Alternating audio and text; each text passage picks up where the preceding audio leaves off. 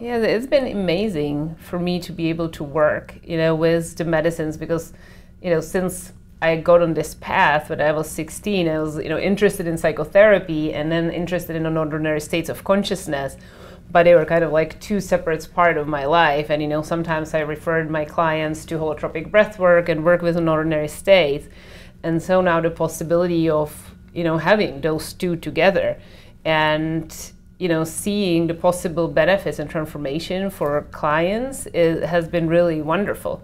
You know and i even uh, you know with the ketamine we work with people with depression anxiety post-traumatic stress disorder um, and other issues.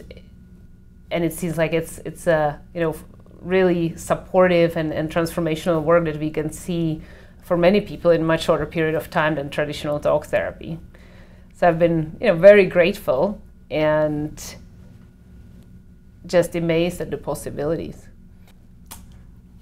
Boom, what's up everyone? Welcome to Simulation. I'm your host, Allen Saakyan. We are still at Consciousness Hacking's Awaken Future Summit. We are now talking to Veronika Gold. Hello. Hi. Thank you so much for coming on the show. Really appreciate it. Yeah, so glad you have me. Thank you. We're really excited. Veronika is the co-founder of Polaris Insight.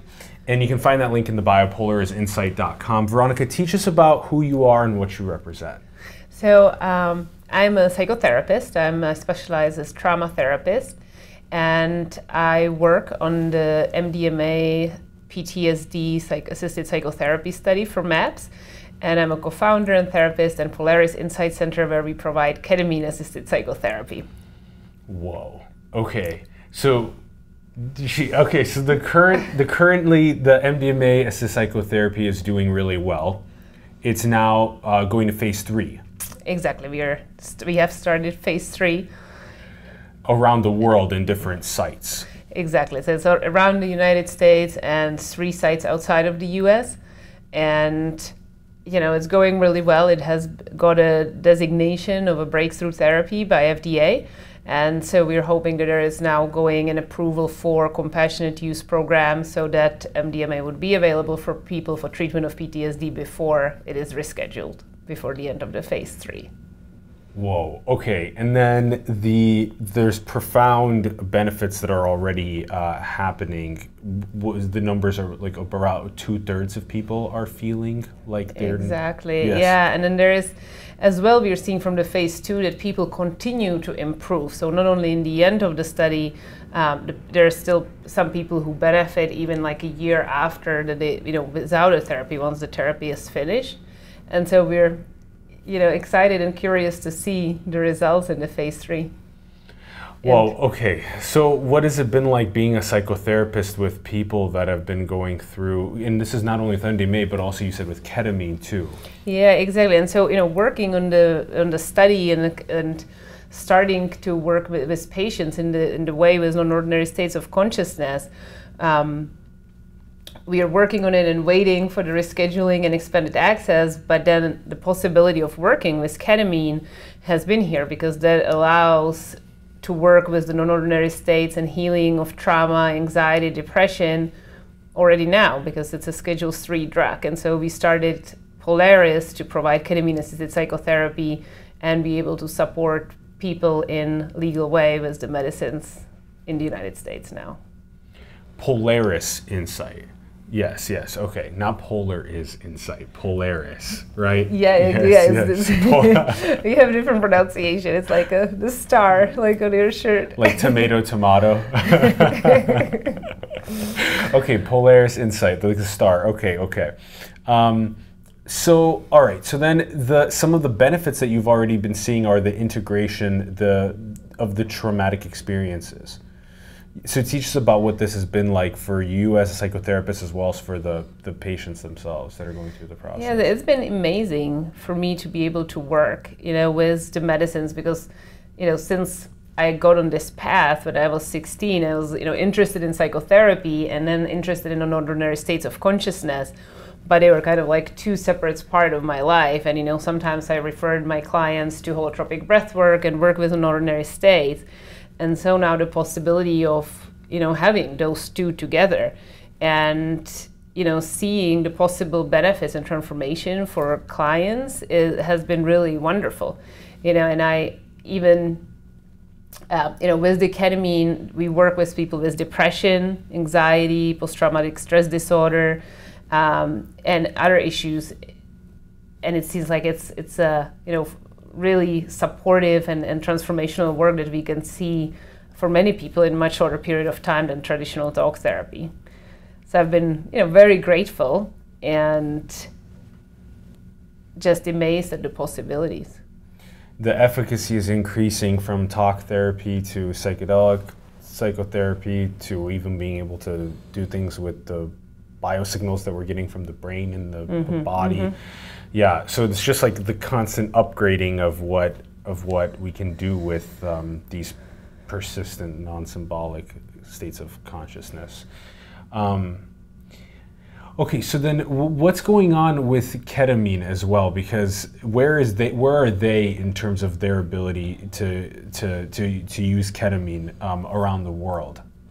Yeah, so you know, and one thing I want to point out is kind of like that this, you know, ketamine or MDMA assisted therapy the, the drug and the drug medicine session is just part of the treatment. So people are, you know, coming for talk therapy as a preparation and integration of the session. So that is the whole treatment.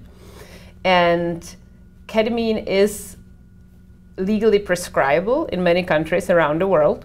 Uh, in the United States, it's a Schedule 3 drug. It is approved for anesthesia. So for any psychiatric treatment, it's an off-label use medicine. And a lot of clinical trials have been done with treatment of depression. But these trials are really only using the drug for its medicinal properties, you know, kind of the, the, the effect on the brain, on the body. Um, but we are looking at using, you know, having benefit of that, but as much as that is the benefit of the therapy that we do while the person is uh, you know, under the effect of the ketamine.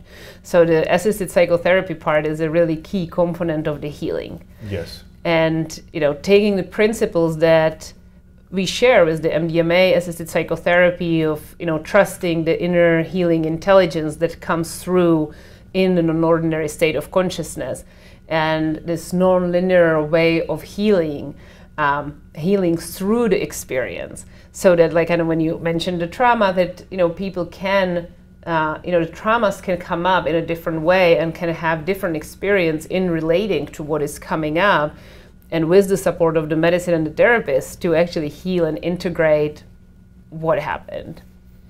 Yes yes and so the so talk therapy is still a pro- part of this process at the beginning and at the end then mm-hmm, both mm-hmm.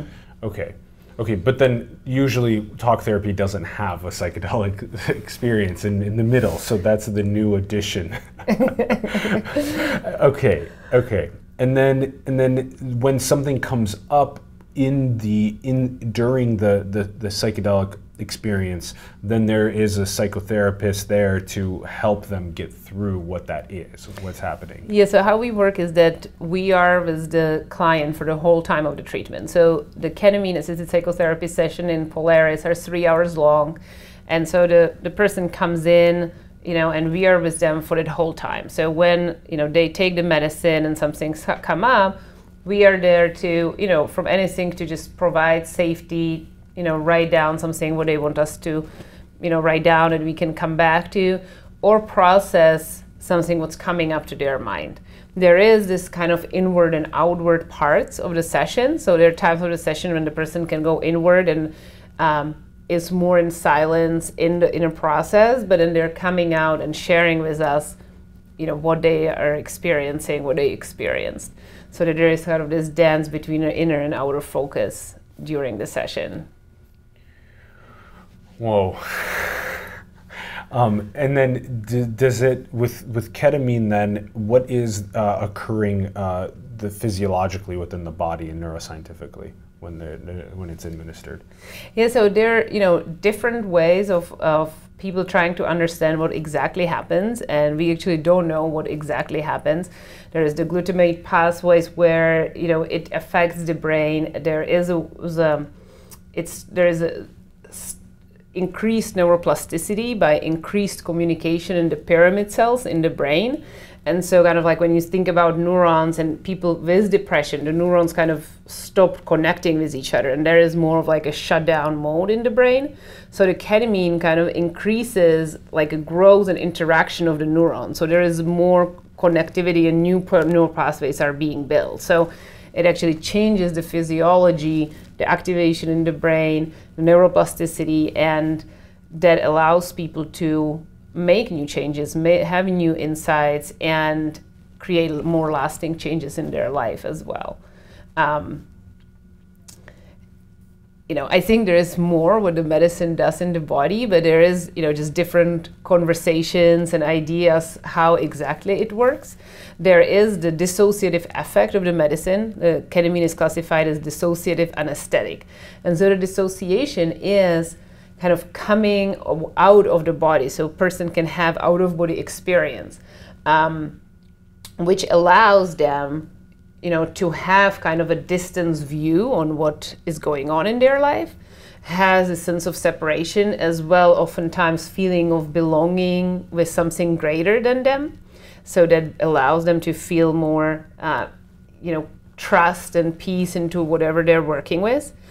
And as well they have there has been studies that show that the greater the dissociation the greater the antidepressant effect and you know in that we can talk about like the dissociation as well as the possibility of mystical experience that correlates with the antidepressant effectiveness of the medicine. Mm. Mm, okay. The more mystical the experience the more antidepressant it is. Interesting. Yeah yeah. Yeah, and so it's, it's you know it's it's a beautiful finding in a ways that you know like there is a difference between dissociate like sometimes people say like when they when they have trauma they dissociate they kind of like blank out or they're very spacey or they uh, it's a way of managing what happened to them and so the ketamine they're saying like well how can ketamine help when ketamine is dissociative so as somebody who dissociates, how is the dissociation going to happen? But it's it's help. It's a different type of dissociation. So the you know the first type when somebody is overwhelmed and dissociates, it's like a body's way of a reset of kind of helping the person like not to feel what's overwhelming. While the ketamine is this like physical dissociation of the body, which actually creates this space, but a person can still be connected and aware of what is happening. So it it actually works well for some people who dissociate. It actually it's almost like it dissociates them from this protective part of them which dissociates. So uh-huh. it's almost like yeah. two minuses, and suddenly the person feels more embodied and have greater access to the, the things they need to talk about or process. Mm-hmm. Okay, okay. And then they're usually talking through the process with you or another psychotherapist. Definitely. So it, it, as well depends on the dosage. So on a lower dosage, there is more conversation. If we work with higher dosage, there might be more inner focus, and then there is more talk and processing as the medicine is wearing off. So that you know, it's it's kind of very individualized. We are looking at why the person is coming in, what they're struggling with, what is their hope and intention for the treatment, what is their prior experience with medicines and psychedelics, what is their sensitivity, and then kind of work with different dosages of the medicine. And so, lower the medicine, there's more of just like psycholytic trance effect where people are likely to converse more. As we go higher, there is more of this dissociative effect where people go more inward. And as then the medicine is wearing off, they, they share more. So, what are your thoughts on the next sort of steps with the flourishing of, of psychedelic psychotherapy around the planet? Where are we? Where are we heading? Are we heading to smaller like clinics popping up around the world? Is that kind of the idea? Yeah, there's different. You know, it's a great question, and I'm asking myself all the time how that can look like. And you know, I think there is this really desire and seeing the potential of this transformation and as well the importance to know that it is one of the tools and that you know it's not just the medicine that you take that there is you know the therapy around your lifestyle support mm. and thinking about it preparation integration and staying with the values and the guiding principles of this work. So there is, you know, attempt like, can we just do a lot of clinics or give someone the medicine and they're going to heal? And thinking about like what all is needed to really do it in the most ethical way, and that you know the people who provide the medicines have proper training, continue consultation, and then you know opening clinics in around the world, and and you know and that there is different needed for someone who lives in the city they might prefer a clinic in the city while other people there will be more nature settings that you know that they can look in all different ways. So i think there is a lot of possibility um, and a lot of conversations about how that can look like how is mm-hmm. so some potentially in city some potentially nature. Do do you think all of them have a component? Like does polaris have a component where they have the um, and does the, the current ones happening through maps, do we have the component of audio and visual stimulation as well during the psychedelic experiences? Yeah, and so and that's um, you know thinking about what it, what are the guiding principles, and you know when we bring technology, how can it support the process and not interrupt? Right? And so there is this inner guiding intelligence that the medicine allows, like what needs to come up to come up. So we don't want to kind of bring something or direct where the person's going to go. Mm. So I can see that a lot of the technologies that we have can be and are being developed can be really helpful in the preparation, um, in the integration, and then some during the sessions you know, and I'm thinking about like music, uh, you know, we, we use music in all sessions, um, sound tables, but as well like that it doesn't interrupt with the natural way what a person's going through.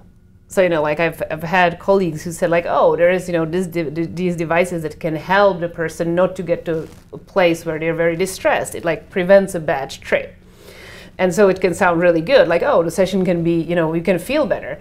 But sometimes we can see like, well, that would interrupt the process. Maybe there is something what a person needs to get through. And you know, kind of intervening in this way would actually stop their process and prevent them from the actual healing. So we can see like what would be helpful. Is there a way that like that some technologies can help the therapist to know what is going on for the person. Is there something that the therapist doesn't know? Is that going to be helpful or is it going to take away from the attunement to the patient? So those are, you know, good questions and I definitely can see how technology can be used in preparation and integration and in some ways during the sessions. Yeah, in the way that it's like personalized to each person and what their experiences have been, what their like current taste in um, music is. Uh, I'm interested also to know what your um, thoughts are on the um, is it, well quick is is is Polaris physical location or is it you guys mobile to get to people? Yeah, so we have a clinic in Castro in San Francisco. A clinic in Castro. So we okay. have an actual location. Awesome. And then is um, and then is there what what is um, um, uh, le- legally speaking, ketamine can be used for specific things?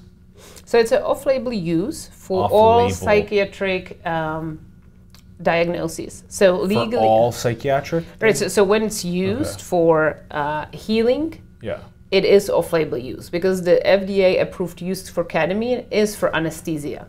It is a very okay. safe anesthetic but the, the, the doctor can prescribe it for other use and you know kind of what, what they're saying like if the body of of same professionals would agree that it is a good indication. So there are being uh, studies done on, on depression trauma anxiety addiction. And so it's not specifically approved for do, do, those conditions but it has been used. And so if the doctor has reasonable um, indication for a person, they can prescribe it. And then people can use it, but it's so off-label only in the case of psychiatric purposes can be used. Right, and you know, or for any for any like if the doctor decided there was some illness and that this would be appropriate treatment, they could prescribe it. But you need to have a diagnosis so the medicine can be prescribed. But not no recreational use of this. Is, so is legal. You know, at, at, at this time, it is not. Uh, it is a controlled substance. Yeah, so controlled substance and only for psychiatric purposes can be used. Okay, okay. Mm-hmm. So we don't have it for you know consciousness exploration or personal growth. Yet, yeah. That Yeah. you know could be beneficial, and people do experience that when they're getting the treatment. But that isn't. You know, we don't have. We, doctors cannot prescribe for personal growth. And then a couple quick questions on the way out are: uh, Are we in a simulation? Good question. What do you think? He can't redirect you. this, is, this show's on you. Um, I think it's how, how you think about it. How do you think about it? Yeah. Yeah, I mean it's a, it's a, it's definitely a possibility. What do you think is the most beautiful thing in the world? I think it's it's it's being alive, being embodied, and you know connecting with each other, connecting with nature, and I think that's our purpose to be fully embodied and experience, you know, and and live and in now in this state of our planet is to help each other and help the planet. Yeah, this has been such a wonderful conversation. Veronika, thank you so much for coming on the show and talking to us. Thank you for having me. I really appreciate it. Yeah. Yeah. There's still so much to unpack and understand about the importance of what you do. So we hope to have more conversation about this, especially as the medicine continues to proliferate around the world and become free to use. Mm-hmm. Yes, yes, yes. Huge thank you everyone for tuning in. We'd greatly appreciate it. We'd love to hear your thoughts in the comments below on the episode. Also check out the link in the bio to Polaris Insight as well as other links to Veronika. And also have more conversations with your friends, your family, your coworkers, people online on social media about the benefits of psychedelic assisted psychotherapy.